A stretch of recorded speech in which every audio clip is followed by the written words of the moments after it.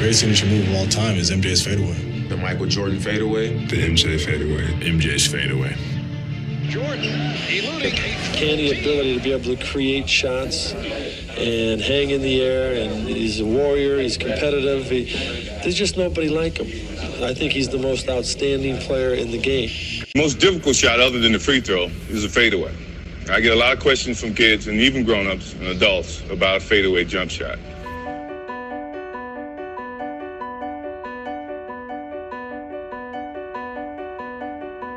Shooting a fadeaway. The one thing that you try to do is create space between the defense. You try as much as possible to square your shoulders up so you're shooting towards your target.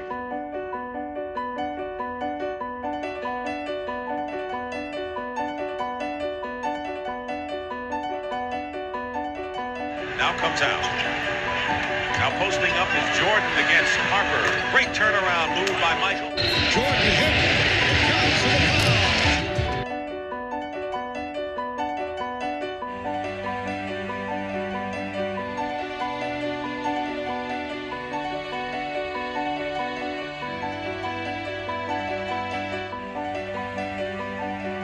He was always working on leg exercises. He was always doing stuff with Tim Grover to make sure that the hamstrings, quads, glutes, that area was strong because that's where the power comes from in that type of shot.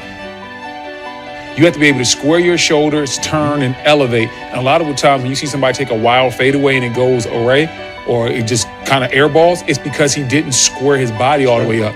Yeah, he's looking at the rim, but that ball is going to go where your body tells it to go.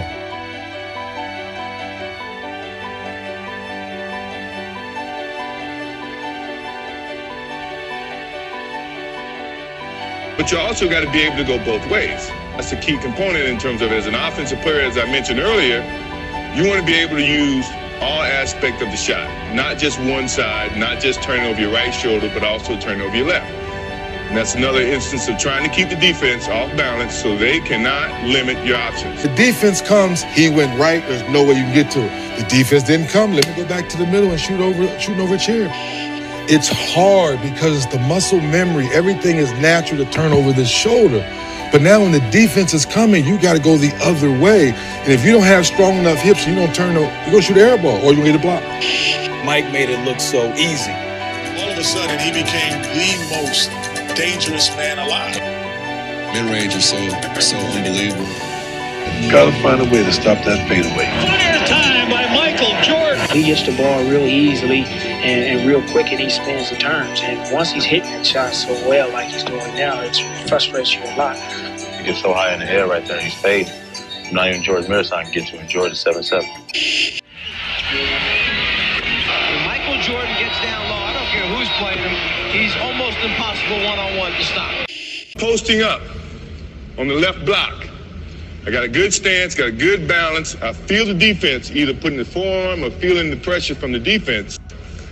I can pick and choose because of the way I feel the defense pressure to go the opposite way or go opposite of where the pressure is. Sometimes I can use as a, what I call the windshield wiper. And I tell you what the windshield wiper is. It's a fake to go one way and yet come back the other way. So there's no different when the defense is trying to force you to go one way that you fake one way and then come back the other way, keeping the defense off balance. So if the defense is standing behind me with his forearm, he's trying to keep you from going to the middle. He wants you to turn that way. Well, that's when I give the old fake, come back this way.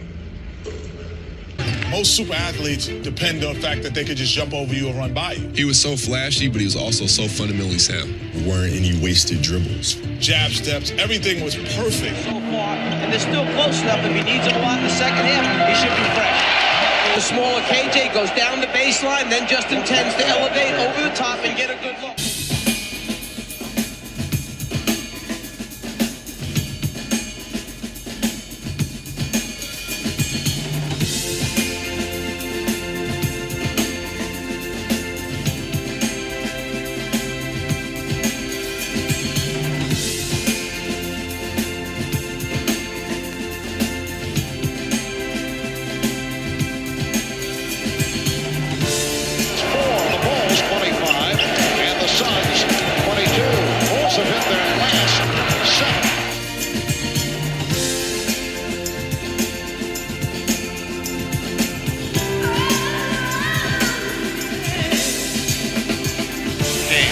Biggest contribution he can make is defending Jordan, who goes low post again.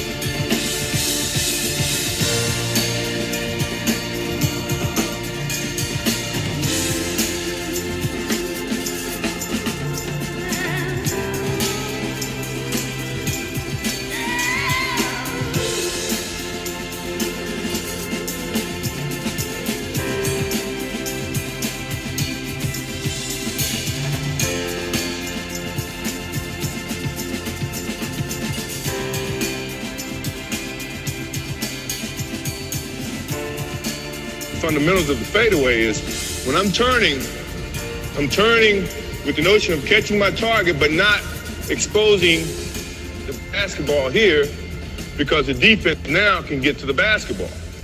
So when I'm turning, I'm turning high. So when I'm turning and I'm squaring up to the target, I'm bringing the basketball at a higher portion, an angle that the defense cannot strip at the basketball. You bring the ball here, it brings a little man in play, it brings a quicker defensive player in play.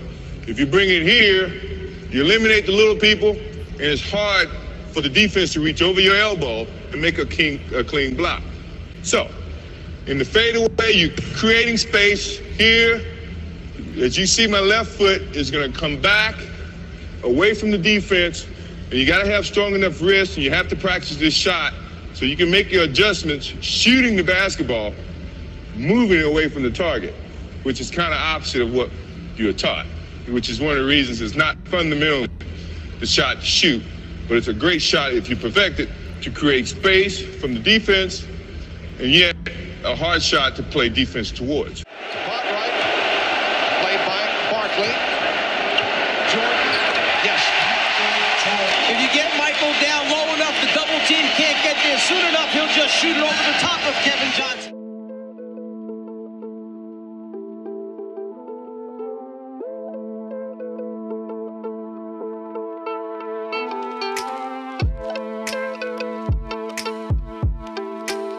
Fade away, using my left, pushing off my legs, falling back, shooting towards the basketball. You gotta be able to shoot it on both sides. And it doesn't change going from that side of the court to this side of the court. Everything are basically the same. You always want to protect the basketball as an offensive player. So if I'm going baseline to shoot my fadeaway, I'm not carrying the ball low, trying to gain up and get momentum. I'm carrying it high so the defense cannot strip at the basketball. So once I carry it, my left, trying to square up my shoulders towards the target, but I'm pushing away from the target itself. Okay?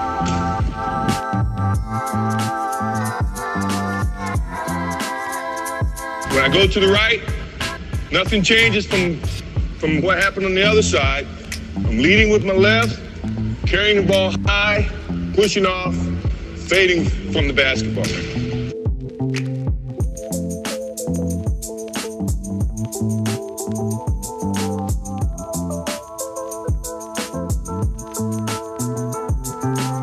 A lot of energy from your legs. It takes a lot of loading up from your legs to get the height momentum going away from your target, which is not customary how you should shoot a basketball. Not fundamentally sound, but yet it's a shot that creates space from your defense. And if you perfect it, it's hard to defend.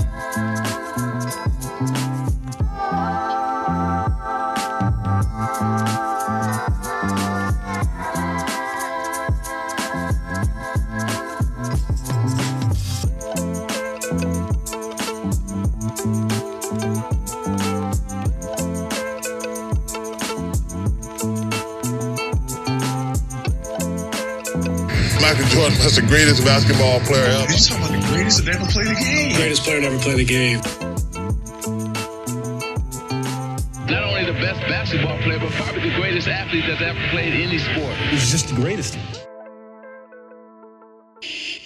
In some circumstances, it's, it's kind of against some of the fundamentals, but yet if you do it and you practice it enough, it can become a routine, and if you repeat it, it become a habit.